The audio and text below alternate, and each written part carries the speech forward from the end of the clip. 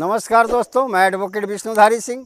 Vishnudhari Singh legal channel में आप सभी दर्शकों का स्वागत करता हूँ। दोस्तों, आज मेरे वीडियो बनाने का टॉपिक है विधवा बहू का, यानी आपके बेटे की पत्नी का, जो विधवा हो गई है।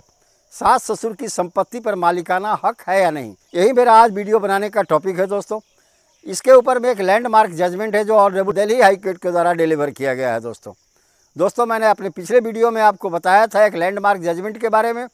कि विधवा बहू को अपने सास ससुर के घर में रहने का अधिकार है या नहीं? उसके अंदर में मैंने प्रभात त्यागी के केस को डील किया था, जिसे landmark judgment honourable supreme court ने दिया था।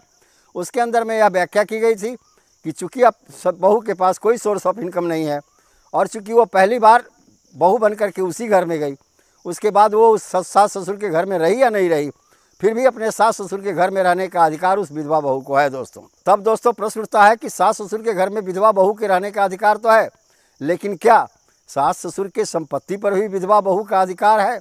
इसी मुद्दे का न्याय निर्धारण करने के लिए दोस्तों, दिल्ली हाई कोर्ट ने अपने एक लैंडमार्क जजमेंट में कहा, वह लैंडमार्क जजमेंट है दोस्तों, लक्ष्मी बनाम श्याम प्रताप, जो 18 अप्रैल 2022 को डिलीवर किया गया है दोस्तों। लक्ष्मी बनाम श्याम प्रताप में ऑनरेबल दिल्ली हाई कोर्ट ने यह निर्णय दिया कि जो बहू अपने सास ससुर के घर में रह रही है, विधवा है, क्या उसका अधिकार उसकी संपत्ति पर है या नहीं? दोस्तों, इसके लिए ऑनरेबल हाई कोर्ट ने दो बिंदुओं पर विचारण किया।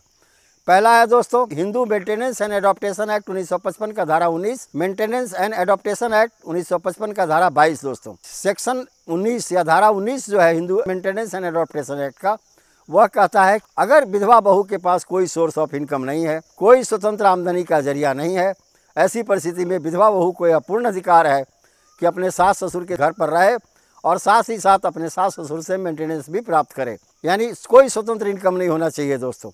और दूसरा है दोस्तों section 22 maintenance and adaptation act 1956 इसके अंदर में कहा गया है दोस्तों कि अगर सास ससुर के पास विधवा के पति के कमाई हुई की संपत्ति है, या विधवा के पति का कोई पैतृक संपत्ति सास ससुर के पास, उस संपत्ति में हिस्सा मिल जाएगा, यानी उस संपत्ति पर उसका मालिकाना हक मिल जाएगा।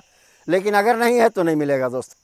इस एप्लीकेशन को जिसे लक्ष्मी ने फैमिली कोर्ट के अंदर में दायर किया था दोस्तों, फैमिली कोर्ट ने इसे डिसमिस कर दिया। यह कहते हुए कि विधवा का कोई भी अधिकार अपने सास ससुर की संपत्ति में नहीं है। तब मामला दोस्तों दिल्ली हाई कोर्ट में गया। दिल्ली हाई कोर्ट ने इन्हीं दो सेक्शन के ऊपर में विस्तृत व्याख्या की।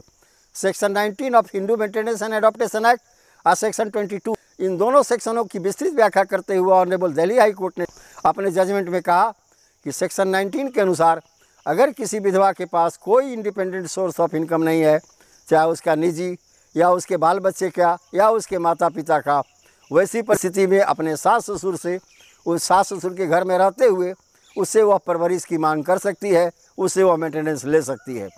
और दूसरा हुआ दोस्तों, कि अगर सास ससुर के पास कोई भी पैतृक संपत्ति है, जिसमें उसके पति, उस विधवा के पति का भी हक था, या दोस्तों, उसके विधवा के पति की कोई भी कमाई अगर सास ससुर के घर में लगी हुई है वैसी स्थिति में उस घर के ऊपर में उसका भी मालिकाना हक है।